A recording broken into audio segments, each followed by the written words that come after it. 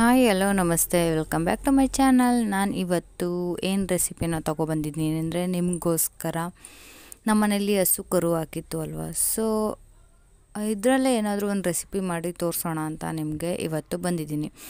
ಗಿಣ್ಣ ಮಾಡೋದು ತುಂಬ ಸುಲಭ. ನೋಡಿ ಅದಕ್ಕೆ ಬೇಕಾಗಿರೋ ಇಂಗ್ರೀಡಿಯೆಂಟ್ಸು ಬೆಲ್ಲ, ಒಣಶುಂಠಿ ಮತ್ತು ಮೂರು ಏಲಕ್ಕಿಕಾಯಿ ಹಾಗೆ ಹಾಲು ಮತ್ತು ಸ್ವಲ್ಪ ಗಿಬು. ನಾನಿಲ್ಲಿ ಇಷ್ಟೊಂದು ಗೀಬನ್ನ ತೋರಿಸ್ತಾ ಇದ್ದೀನಿ.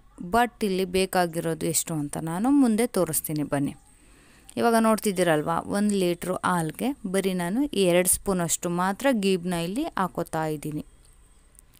ಇದು ಪ್ಯೂರ್ ನಾಟಿ ಹಸುವಿನ ಗೀಬಿದು. ನೋಡಿ, ಏನು ಸಖತ್ತಾಗಿದೆ ಅಂತ. ಇದನ್ನು ಹೀಗೆ ನಾವು ಒಂದು ಬಾಕ್ಸಲ್ಲಿ ಹಾಕಿ ಸ್ಟೋರ್ ಮಾಡಿ ಇಟ್ಟಿರ್ತೀವಿ. ಯಾವಾಗ ಬೇಕು ಇದು ಹಾಳಾಗಲ್ಲ. ಅಂದರೆ ಇದಕ್ಕೆ ನೀರೇನು ಬೀಳದೆ ಇರೋ ರೀತಿ ನೋಡ್ಕೋಬೇಕು. ಆವಾಗ ಇದು ಚೂರು ಕೂಡ ಹಾಳಾಗಲ್ಲ. ಇವಾಗ ನೋಡ್ತಿದ್ದೀರಲ್ವ, ಎರಡು ಸ್ಪೂನಷ್ಟು ಗೀಬ್ನ ಒಂದು ಲೀಟ್ರ್ ಹಾಲ್ಗೆ ಎರಡು ಸ್ಪೂನ್ ಗೀಬು ಸಾಕು. ಹಾಗೆ ಇಲ್ಲಿ ನಾನು ಒಂದು ಬೌಲಷ್ಟು ಬೆಲ್ಲ, ಹಾಗೆ ಮೂರು ಏಲಕ್ಕಿ ಕಾಯಿ, ಅರ್ಧ ಇಂಚು ಒಣಸುಂಟಿನ ಇಲ್ಲಿ ಕುಟ್ಟಿ ಪುಡಿ ಮಾಡಿ ಹಾಕ್ತಾಯಿದ್ದೀನಿ ನೀವು ಎಲ್ಲ ಬೆಲ್ಲ ಎಲ್ಲ ಹಾಕಿದ್ಮೇಲೆ ಇನ್ನೂ ಸ್ವಲ್ಪ ಸ್ವೀಟ್ ಬೇಕು ಅಂದರೆ ನೀವು ಅದಕ್ಕೆ ಆ್ಯಡ್ ಮಾಡ್ಕೋಬೋದು.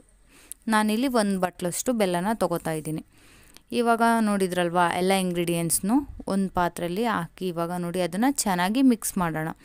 ಬೆಲ್ಲ ಚೆನ್ನಾಗಿ ಕುಟ್ಟಿರ್ತೀರ, ಬಟ್ ಆದ್ರೂ ಸ್ವಲ್ಪ ಚಿಕ್ಕ ಚಿಕ್ಕದಿರುತ್ತೆ ಅಲ್ವಾ? ಸೊ ಹಾಗಾಗಿ ಚೆನ್ನಾಗಿ ಮಿಕ್ಸ್ ಆಗಲಿ ಅಂತ ನಾನಿಲ್ಲಿ ಮಿಕ್ಸ್ ಮಾಡ್ತಾ ಇದ್ದೀನಿ ನೋಡಿ. ಏಲಕ್ಕಿ ಕಾಯಿ, ಮತ್ತು ಒಣಶುಂಠಿ ಅದ್ರ ಫ್ಲೇವರೆಲ್ಲ ಬಿಡಬೇಕಲ್ವಾ? ನಾವಿಲ್ಲಿ ಇದನ್ನು ಸೋಸ್ಕೋತೀವಿ. ಸೊ ಹಾಗಾಗಿ ಎಲ್ಲ ಚೆನ್ನಾಗಿ ಇದನ್ನು ಕಿವುಚಬೇಕು. ನೋಡಿ, ನಾನು ಯಾವ ಥರ ಮಾಡ್ತಿದ್ದೀನಿ, ಆ ಥರ ಬೆಲ್ಲ ಎಲ್ಲ ಕರಗಲಿ ಅಂತ ಹೇಳ್ಬಿಟ್ಟು ನಾನಿಲ್ಲಿ ಅದನ್ನು ಕಿವುಚುತ್ತಾ ಇದ್ದೀನಿ. ಸೋಸೋರು ಆ ಫ್ಲೇವರು ಬಾಯಿಗೆ ಸಿಗಬೇಕು ಅಂದರೆ ಸೋಸೋಕ್ಕೇನು ಹೋಗಬೇಡಿ. ಬಟ್ ಮಕ್ಕಳು ಎಲ್ಲ ತಿನ್ನಲ್ಲ, ಏಲಕ್ಕಿ ಕೈ ಒಣಶುಂಠಿ ಎಲ್ಲ ಬಾಯಿಗೆ ಸಿಕ್ಕಿದ್ರೆ ಇದನ್ನು ತಿನ್ನಲ್ಲ. ಸೊ ಹಾಗಾಗಿ ನಾನು ಏನು ಮಾಡ್ತಿದ್ದೀನಿ, ಇದನ್ನೆಲ್ಲ ಚೆನ್ನಾಗಿ ಕೈಯಲ್ಲಿ ಕಿವುಚ್ಕೊಂಡು ಇವಾಗ ನೋಡಿ ಬೇರೆ ಒಂದು ಬಾಕ್ಸ್ಗೆ ನಾನು ಸೋಸ್ಕೋತಾ ಇದ್ದೀನಿ. ಸೋಸ್ಕೊಂಡು ಆದ ನಂತರ ಇವಾಗ ಯಾವ ಪಾತ್ರೆಯಲ್ಲಿ ಹಾಕಿ ಮಿಕ್ಸ್ ಮಾಡಿ ಇಟ್ಕೊಂಡಿದ್ದೆ, ಮತ್ತೆ ಆ ಪಾತ್ರೆನ ತೊಳ್ಕೊಂಡು ಅದಕ್ಕೇ ಸೋಸಿಟ್ಕೊಂಡಿರೋ ಹಾಲನ್ನ ಮತ್ತೆ ಅದಕ್ಕೆ ಟ್ರಾನ್ಸ್ಫರ್ ಮಾಡ್ಕೋತೀನಿ. ನೋಡಿ ಇವಾಗ ನಾನೆಲ್ಲ ನೀಟಾಗಿ ಸೋಸ್ಕೋತಾ ಇದ್ದೀನಿ. ನೀವು ಕಿವುಚಿದಷ್ಟು ಅದ್ರದ್ದು ಏಲಕ್ಕಿಕಾಯಿ ಮತ್ತು ಒಣಶುಂಠಿದು ಫ್ಲೇವರ್ ಬಿಡುತ್ತೆ. ಸೊ ಹಾಗಾಗಿ ಚೆನ್ನಾಗಿ ಹಾಲಲ್ಲಿ ಕಿವುಚ್ಕೊಳ್ಳಿ. ನೋಡಿ, ಇವಾಗ ಸ್ವಲ್ಪ ಬೆಲ್ಲ ಇದೆ ಅದರೊಳಗಡೆ ಉಳ್ಕೊಂಡಿದೆ. ಅಷ್ಟೊಂದು ಮಿಕ್ಸ್ ಮಾಡಿದ್ರು ಕೂಡ. ಅದಕ್ಕೆ ಇವಾಗ ನಾನು ಮತ್ತೆ ಸ್ವಲ್ಪನ ಹಾಲು ಹಾಕ್ಬಿಟ್ಟು ಚೆನ್ನಾಗಿ ನೋಡಿ ಮಿಕ್ಸ್ ಮಾಡ್ತಾ ಇದ್ದೀನಿ ಇವಾಗ ಅದನ್ನು ಕೂಡ. ಮತ್ತೆ ಎಲ್ಲ ಕರಗಲಿ ಅಂತ. ಬಟ್ ಸೊ ಸ್ವಲ್ಪ ಗಟ್ಟಿ ಇತ್ತಲ್ವ ಸೊ ಬೆಲ್ಲ? ಹಾಗಾಗಿ ಸ್ವಲ್ಪ ಕರಗಲಿಲ್ಲ. ಸೊ ಸಾಕು ಸ್ವೀಟು ಕೂಡ ಕರೆಕ್ಟಾಗಿತ್ತು ಸೊ ಹಾಗಾಗಿ ನಾನು ಸೋಸ್ಕೊಂಡೆ. ಈಗ ಸೋಸ್ಕೊಳೋದ್ರಿಂದ ಬೆಲ್ಲದಲ್ಲಿರೋ ಕಸ ಕೂಡ ಹೋಗುತ್ತೆ.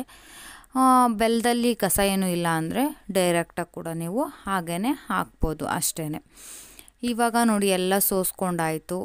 ಸೋಸ್ಕೊಂಡಾದ ನಂತರ ಇವಾಗ ಒಂದು ಕುಕ್ಕರ್ ಇಟ್ಬಿಟ್ಟು ಅದಕ್ಕೆ ಸ್ವಲ್ಪ ನೀರು ಹಾಕಿ. ಒಂದು ಕಾಲು ಭಾಗದಷ್ಟು ನೀರು ಹಾಕಿ ಗ್ಯಾಸ್ನ ಆನ್ ಮಾಡ್ಕೊಳ್ಳಿ. ಇವಾಗ ನೋಡಿ, ನಾನು ಪಾತ್ರೆನ ಅದರೊಳಗಡೆ ಇಟ್ಟಿದ್ದೀನಿ. ಇವಾಗ ಪಾತ್ರೆ ಇಟ್ಟಾದ ನಂತರ ನೋಡಿ, ಅಮ್ಮ ಹಾಲನ್ನ ಹಾಕ್ತಾ ಇದ್ದಾರೆ. ಗೀ ಬಾಲ್ನ ನಾನು ಇಟ್ಕೊಂಡಿದ್ದೀನಿ ನೋಡಿ. ಇವಾಗ ಇದನ್ನು ಕರೆಕ್ಟಾಗಿ ಕೂರಿಸ್ತಾ ಇದ್ದೀನಿ ಕುಕ್ಕರ್ ಒಳಗೆ ಏನೂ ಇಲ್ಲ, ಸಿಂಪಲ್. ಕುಕ್ಕರ್ ಒಳಗಿಟ್ಟು ಒಂದೇ ಒಂದು ವಿಷಲ್ ಹೊಡೆಸ್ಕೊಳ್ಳಿ ಸಾಕು. ಈಗ ಇದು ಪಾತ್ರೆ ಇಟ್ಟಾದಮೇಲೆ ಅದಕ್ಕೆ ಕರೆಕ್ಟಾಗಿರೋ ಅಂಥ ಒಂದು ಮುಚ್ಚುಳನ ಮುಚ್ಚಿ. ನೋಡಿ, ಈ ಥರ ನಾನು ಒಂದು ಪ್ಲೇಟ್ನ ಇಡ್ತಾ ಇದ್ದೀನಿ. ಪ್ಲೇಟ್ ಮುಚ್ ಮುಚ್ಚಾದ ನಂತರ ಇದಕ್ಕೆ ಲೀಡ್ನ ಕ್ಲೋಸ್ ಮಾಡಿ. ಲೀಡ್ ಕ್ಲೋಸ್ ಮಾಡಿ ಬರೀ ಒಂದು ವಿಶಲ್ ಮಾತ್ರ ಕೂಗಿಸ್ಕೋಬೇಕು ನೀವಿಲ್ಲಿ. ಒಂದು ವಿಷಲ್ ಆದ ತಕ್ಷಣ ನೀವು ಸಡನ್ನಾಗಿ ಏರ್ನ ಹೋಗಿಸ್ಬೇಡಿ. ಅದಾಗೆ ಹೋಗಬೇಕು. ಏರೆಲ್ಲ ಹೋದ ನಂತರನೇ ನೀವು ಓಪನ್ ಮಾಡಬೇಕು. ಏರ್ ಒಂದು ವಿಷಲ್ ಬಂತು ಅಂತ ಹೇಳ್ಬಿಟ್ಟು ಎತ್ತಕ್ಕೆ ಹೋಗ್ಬೇಡಿ. ನೀವು ಬೆಂದಿದೆಯೋ ಇಲ್ವೋ, ಬೇರೆ ಟೈಮ್ ವಿಷಲ್ ಕೂಗಿಸ್ಲಿಲ್ಲ ಅಂದರೆ ಬೇರೆ ಟೈಮಲ್ಲಿ ಹಂಗೆ ಪಾತ್ರೆ ಇಟ್ಟು ಕೂ ಬೇಯಿಸೋಕೆ ಹೋದರೆ ಬೆಂದಿದೆಯೋ ಇಲ್ವೋ ಅಂತ ನಿಮಗೆ ಗೊತ್ತಾಗಲ್ಲ. ಈ ರೀತಿ ನಾನು ಹೇಳಿದ ಮೆಥಡಲ್ಲಿ ನೀವು ಮಾಡಿದ್ರೆ ಒಂದೇ ಒಂದು ವಿಷಲ್ ಕೂಗಿಸ್ಕೊಂಡ್ರೆ ಸಾಕು. ಆರಾಮಾಗಿ ಬೆಂದಿರುತ್ತೆ. ಇದು ನಾನು ನೈಟೇ ಮಾಡಿಟ್ಟಿದ್ದೆ.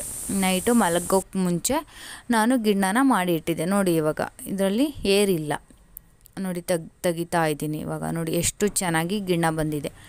ಇವಾಗ ಇದನ್ನು ಕಟ್ ಮಾಡ್ಕೊಳ್ಳೋಣ. ನೋಡಿ ಕಟ್ ಮಾಡ್ತಾ ಇದ್ದಾರೆ ಅಮ್ಮ. ಕಟ್ ಮಾಡಿಬಿಟ್ಟು ಇವಾಗ ನಾನು ಸರ್ವ್ ಮಾಡಿಬಿಟ್ಟು ನಿಮಗೆ ತೋರಿಸ್ತೀನಿ. ಅದು ಹೇಗೆ ಬಂತು ಅಂತ.